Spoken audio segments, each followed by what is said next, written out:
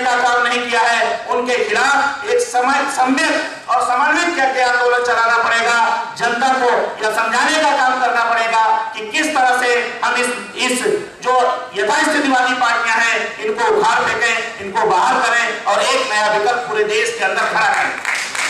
साथियों, यह सही है कि जब तक हम लोगों के बीच में पिछड़े वर्गों को, अनुसूचित जनजाति के लोगों को एकजुट होकर भरोसा कायम करना पड़ेगा।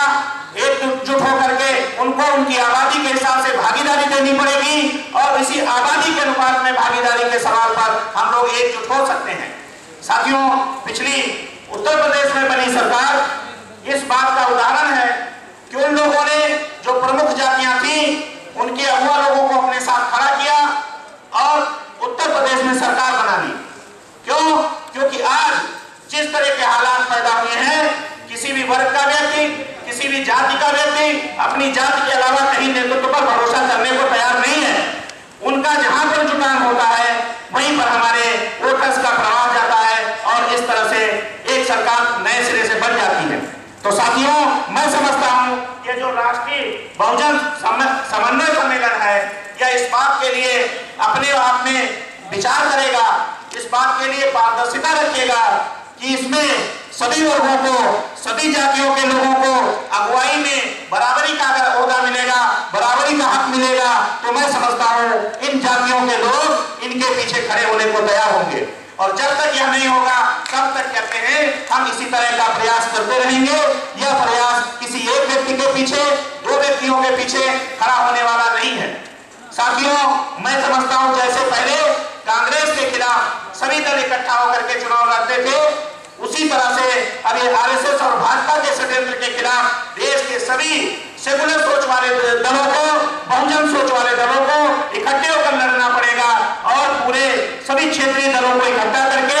और जैसे जातीय पहचान वाले दलों को इकट्ठा करके उनके नेतृत्व के साथ अगर हम खड़े होंगे तो मैं समझता हूँ सही तरीके का बहुजन समाज बनेगा और वो भागीदारी की लड़ाई पर, भागीदारी के नाम पर हम लोग एकजुट हो सकते हैं। दो तीन दो उदाहरणों के साथ मैं बात खत्म करूँगा। बहुजन समाज पार्टी उत्तर प्रदेश में सरकार में आई। बहुत भरोसा था लोगों का कि हम लोग पिछड़े दलित, अल्पसंख्यक वर्ग के लोग जो उनके पीछे जुटे थे, उनको लगता था ये बाल से कागज़ की सरकार है। ये आएगी, सभी लोगों को बराबरी का हक देने का काम करेगी। लेकिन जब उन्होंने वहाँ सबसे बड़ा आंदोलन करा मतलब सबसे बड़ा एक कार्य किया कि ठेकों में आरक्षण देने का काम किया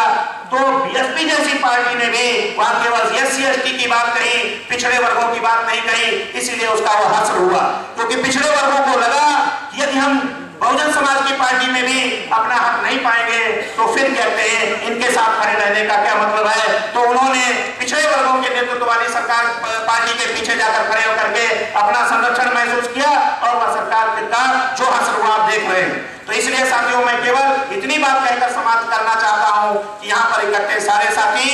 जो भागीदारी के नाम पर बात कर रहे हैं, वह सभी वर्गों को जातिवार आबादी के अनुपात में भागीदारी की बात करेंगे। तो समझते हैं, मैं समझता हूँ, सभी लोगों को उसमें अपने हक हकों के, की का हिस्सा दिखेगा और वो लोग एकजुट होकर के हमारे साथ खड़े होंगे। साथियों, इसी के साथ मैं फिर आह्वान करता हूँ यह जो राष्ट्रीय बहुजन समन्वय सम्मेलन है, या इस तरह की रणनीति बनावे कि सभी वर्गों को, जिसमें महिलाएँ भी हों, जिसमें पिछड़े भी हों, जिसमें दलित भी हों, जिसमें माइनॉरिटीज के लोग भी हों, उनको प्रॉपर भागीदारी दिखाई दे, ऐसा प्रयास किया जाए तो मैं समझता हूँ एक विकल्प बनेगा, हम लोग लड़ेंगे पूरे देश में, क्योंकि यह जो इमरजेंसी जैसी घटना सीन बन रहा है, इसके खिलाफ हमको एकजुट होकर लड़ना है। साथियों, जय भीम, जय भारत, जय पिछड़ा समाज, जय संभव